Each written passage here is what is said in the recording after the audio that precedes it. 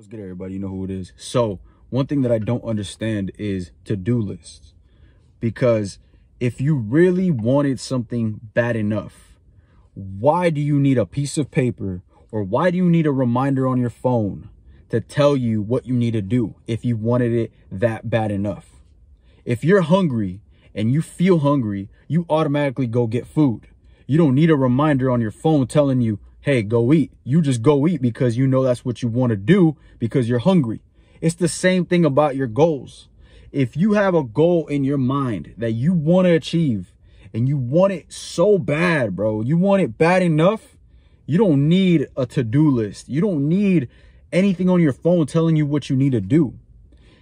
I know that I wanted to become financially independent and I know that I still got a long way to go. So every single day I text I take steps into getting to closer to that goal. I don't need to-do lists. I don't need a reminder or anything on my phone. I don't need a whiteboard telling me every single day when I wake up what to do because it's always in the front of my brain always because that's exactly what I want. That is exactly what I want to do. Until you find a goal that you don't need to write it down constantly or you don't need to constantly be reminded to do it, get rid of that goal. And until you find a goal that just is, you're obsessed with it, that you need to do it, that's what you should be doing. Because it's other than that, it is a waste of time, man. It is a, you are wasting your time if you don't have a goal that you're constantly thinking about. It's a waste of time because what, what you're saying to yourself indirectly is this is not as important as I thought it was and I'm just gonna do it whenever I get to it. No, no, bro. That's not how a goal works.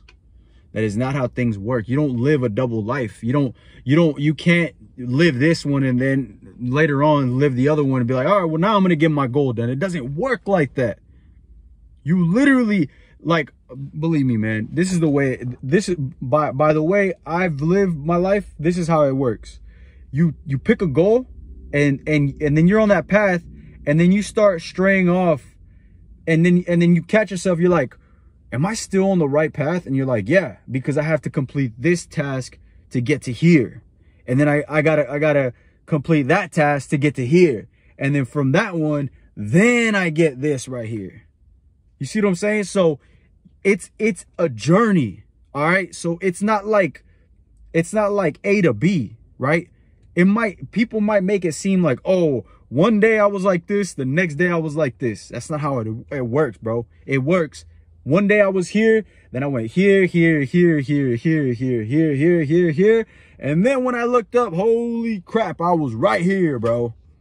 And and now I'm like happy. But guess what? You always look at those guys and they're still going. They're still doing the same thing.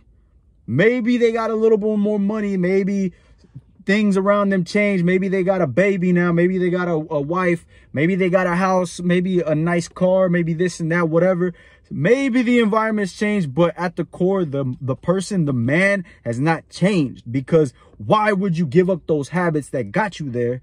Why would you give them up? Why would you stop doing what got you there in the first place? Why would you stop doing it?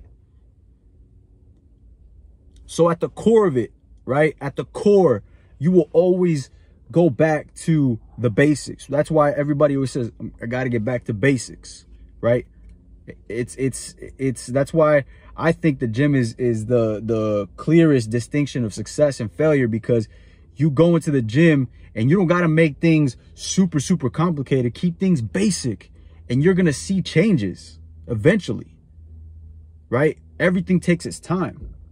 So you get to the basics. You don't got to complicate nothing. You stick to maybe a few exercises, a, a, nice little handful of exercises. You get in there, you change your body, and there you go. And then you look up and you're like, oh, I want to try this and this and that. And then you're like, what the hell? My body's not changing anymore. You're like, you know what? Let me go back to what I what what worked for me in the in the first place. And then guess what? Boom, more more progress, more success. So what I'm saying, right? Let me bring this full circle and let me end this video on this note. Don't complicate things. Pick a goal that you are absolutely obsessed with, bro. That you don't need whiteboards and nice, pretty sticky notes to tell you what to do every day. You're, you're thinking about it. It's on your head. It's on your mind. You're obsessed with it. You're like, oh, I can do this and it's going to get me closer to my goal if I do this right now. So um, until you get that goal, until you get that type of goal, throw everything else in the trash, right? Because until you get that one goal that you're you're you're sickly obsessed with like that, that's when you're gonna become what you want to become, whatever it is whatever it is. I don't know what it is, bro. All I'm saying is that this right here could be applied to anything that you want in life. If you want to be a NASCAR driver, you got to get obsessed with it. If you want to be an astronaut, you got to get obsessed with it. You got to read everything. You got to learn the ins and outs. You got, dude, you got to get obsessed right now. Right now. That's it for this video, man. I know, you know, no no free sponsorship. So you this is uh this is just an empty can. I appreciate you guys watching, man. Stay tuned for the next one. I'm out.